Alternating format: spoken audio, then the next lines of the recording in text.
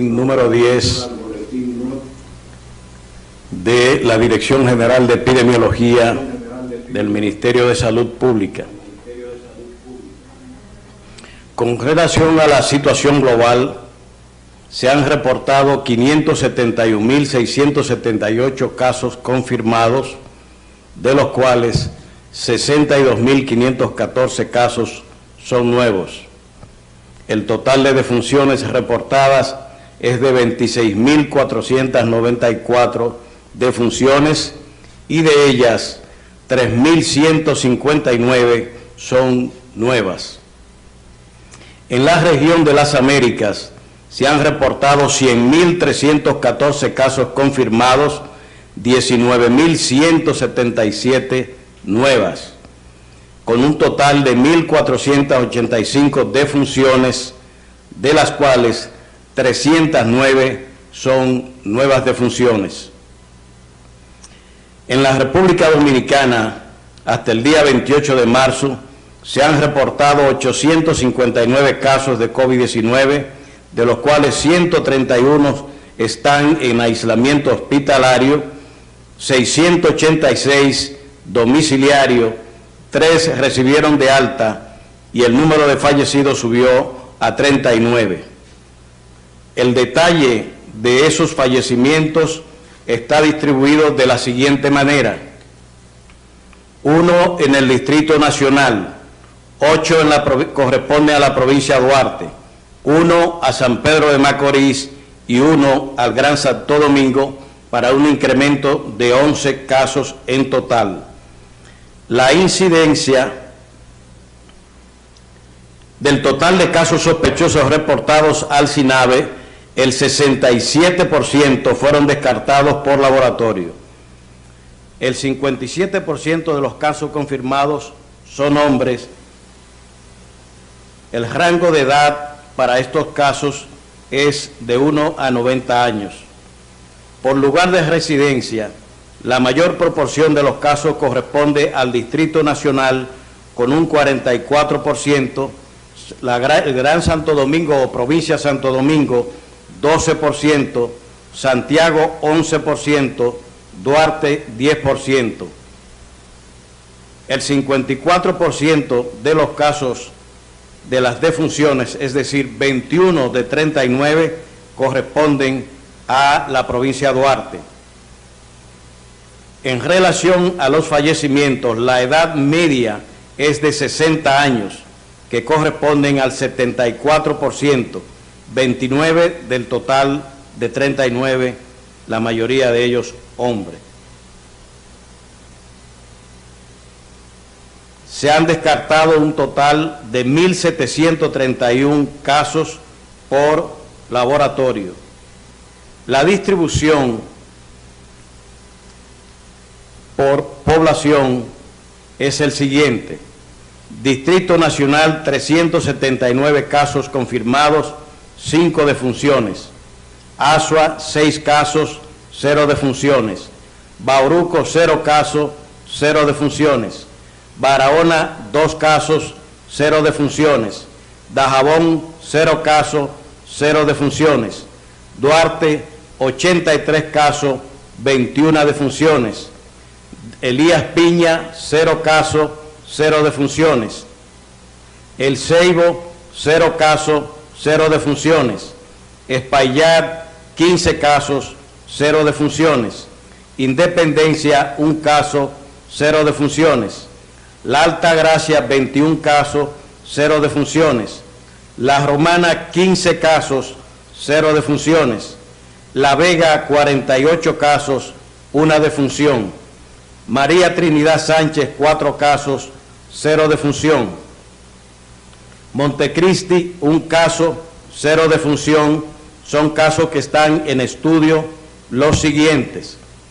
Bauruco, perdón, Dajabón,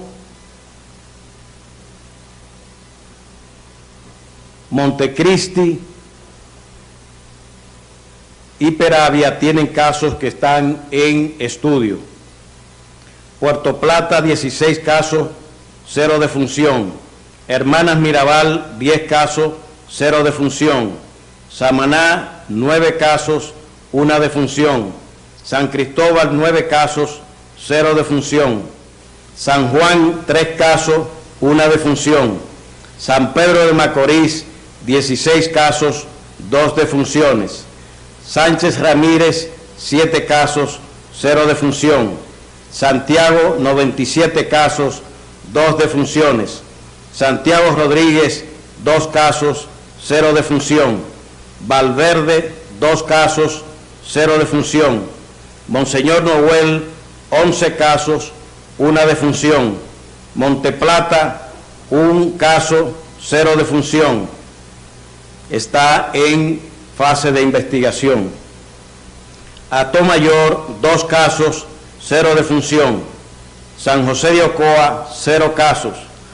La provincia de Santo Domingo, 101 casos, cinco defunciones.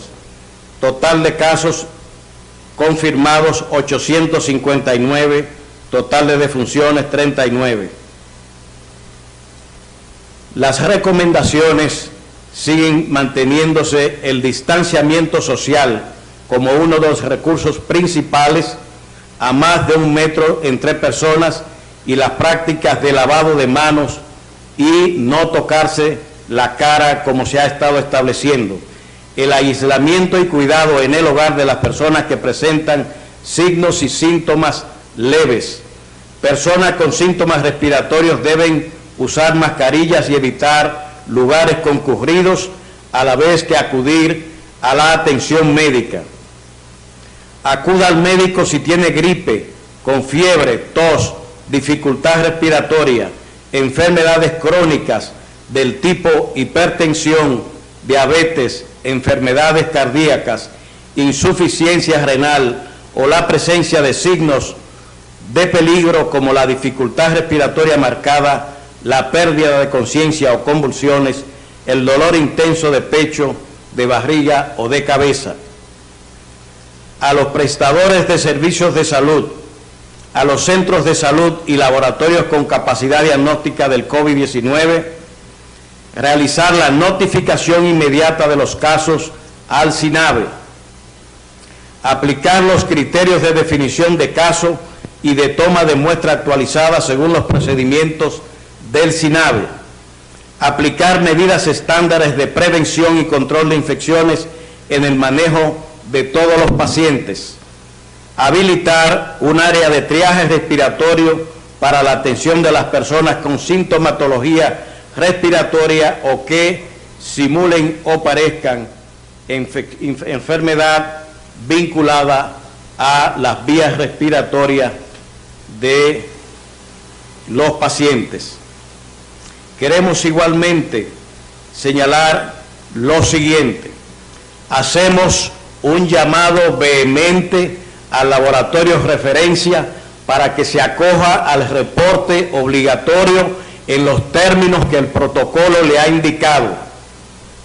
Un protocolo de reporte obligatorio con dirección actual de los pacientes que, que son sometidos a prueba con teléfonos y contactos establecidos como se les ha reiterado en varias ocasiones. Se le ha establecido cortes a todos los laboratorios para las seis de la tarde que deben concluir y remitir el formulario que todos tienen en sus manos antes o durante la fecha 6 de la tarde que se le ha indicado. La no acogencia a esta indicación implicará la toma de sanciones que serán de inmediata en la próxima semana a iniciarse.